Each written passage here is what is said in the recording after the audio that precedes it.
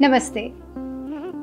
This is the 10th anniversary of our production company, and our mission when we started this was to bring Bharatanatyam to a diverse audience and to take it out of its context of religion and mythology and make it relevant to the generation, the present generation, in a way that they would take up an art form like Bharatanatyam and not move away to Western um, forms of expression. It's been 10 years, and while um, one can get uh, jaded in our own perspectives, we have tried to keep true to these missions that we first started out with as we bring to you a dance film, Beyond the Rains.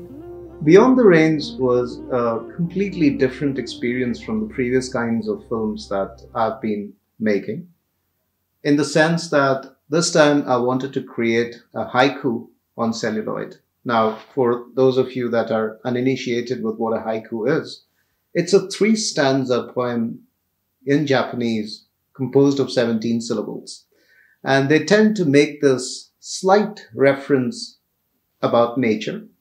And the effect is something which is uh, very gentle, but still quite significant. What I wanted to create on celluloid was the same structure of a haiku, a story that's gently told, but it brings about an impact nevertheless. Now, our past films have been quite impactful, but they've also carried the velocity and the force of a story, which went that way. In this case, we took a very gentle love story.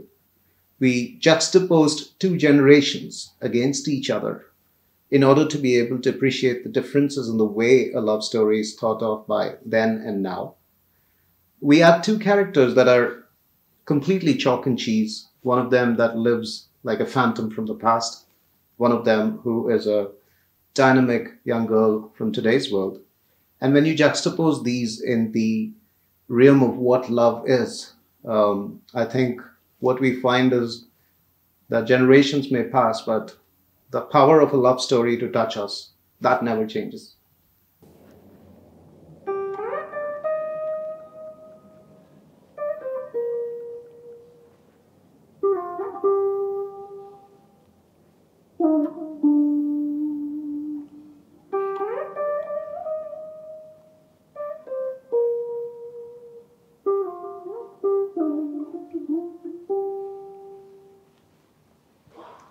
Hi, I'm Abhay Nayampally. I did the music for Beyond the Rains, a movie beautifully written and directed by A.K. Srikanth and beautifully performed and choreographed by the legendary Savitha Sastry ji.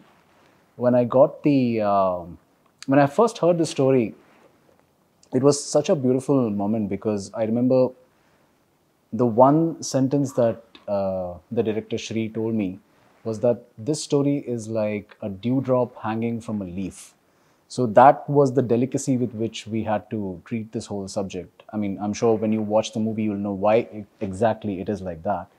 But sometimes when you're creating music, the more minimal, the simpler it is, the more difficult it is to create. So this was a very, very challenging um, thing for me to do, but very enriching as well because I learned so much during the making of this. Uh, you know, the during the making of the music for this movie and what I've tried to do here is to try and keep it as minimal as possible and make you feel when you're listening to the music like it's a dewdrop that's just about to you know drop off from a leaf. So i hope that that gets conveyed. And i hope you all enjoy the movie like we did in making it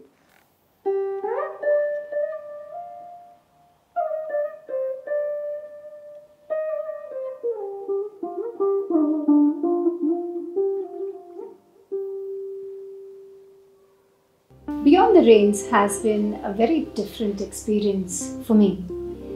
It is a love story, but I think Beyond the Rain goes into actually redefining what love is. I've played many characters that were steeped in love at different stages of my dancing career, but nothing like the protagonist in Beyond the Rains. All through it, Srikanth told me imagine the palette being rain, that there is this constant feeling of rain showers. And when I finished Beyond the Rains, it, it was certainly an experience that left me drenched, drenched in love. That's an interesting way of putting it. Um, she always thought that um, I cannot write a love story. In fact, many people have said that to me that I cannot write a love story, but I guess I wrote a story with a lot of love, so it qualifies as being a love story, I hope. Um, I think you'll find something very different in our way of storytelling in this particular one.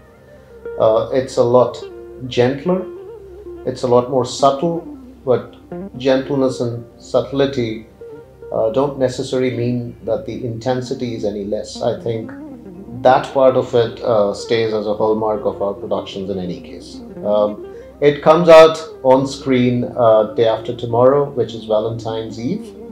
Um, so please tune in with your loved ones and enjoy Beyond the Rains.